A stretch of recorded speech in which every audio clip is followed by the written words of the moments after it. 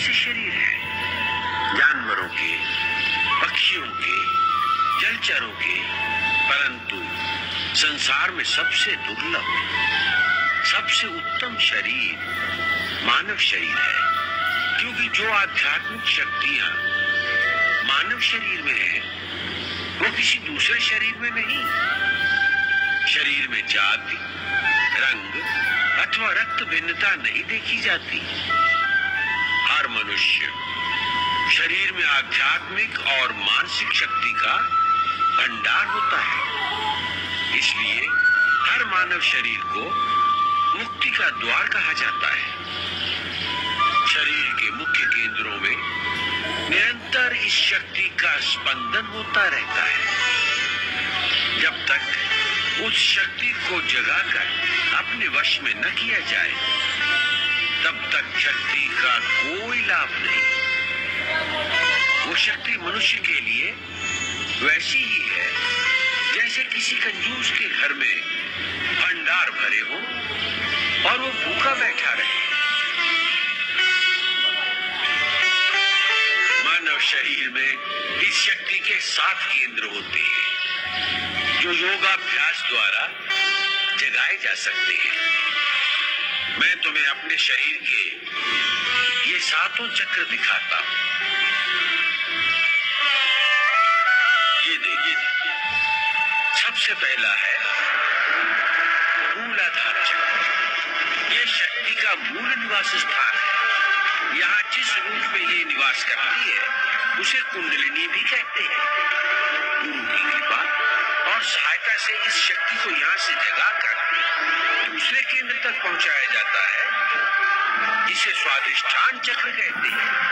फिर स्वादिष्ठान चक्र को भेद कर जब ये शक्ति आगे बढ़ती है तो तीसरे केंद्र मणिपुर चक्र तक पहुँचती है। फिर मणिपुर चक्र भेद कर इस शक्ति को चौथे केंद्र अनाहत चक्र तक पहुँचाया जाता है। से विशुद्ध चक्र और विशुद्ध चक्र से ये शक्ति सहस्रार चक्र को जागृत करती है। श्वेत वर्ण और वृत्ति के मध्य में दो पंखड़ियों के बीच स्थित होता है। उसका बीज मंत्र।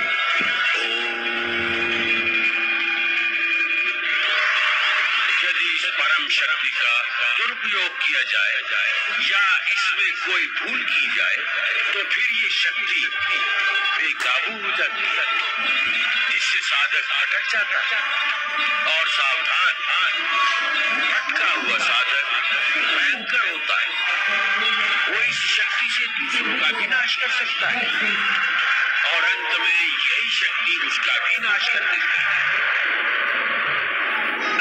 इसलिए ये आवश्यक है कि गुरु की आज्ञा और सहायता के बिना ये अभ्यास न किया जाए। जब ये शक्ति जागृत होती है तो सब केंद्रों में ऊर्जा और तेज का एक ऐसा वेग होता है, जैसे गंगा का प्रवाह हो। उसका तेज कई सूर्यों की तरह प्रकाशमान होता है। कुंडलिनी जब आगे बढ़ती है तो साधक को चेतना की अलग अलग परतों का अनुभव होता है। यहाँ तक कि जब वो छठे चक्र का भेदन करके सहस्रार तक पहुँचती है तो योगी पूर्ण समाधि में लीन हो जाता है। जहाँ प्रकाश ही प्रकाश है। वहाँ पहुंचकर एक अलौकिक आनंद की अनुभूति होती है। क्या मानव की चेतना? आदि और अंत की सीमाओं को पार कर जाती है। वो परम चेतना परिसीमा है, जहाँ तीनों काल और समस्त लोग सदैव प्रकाशित रहते हैं। सदैव प्रकाशित रहते हैं। अरे, नारायण नारायण।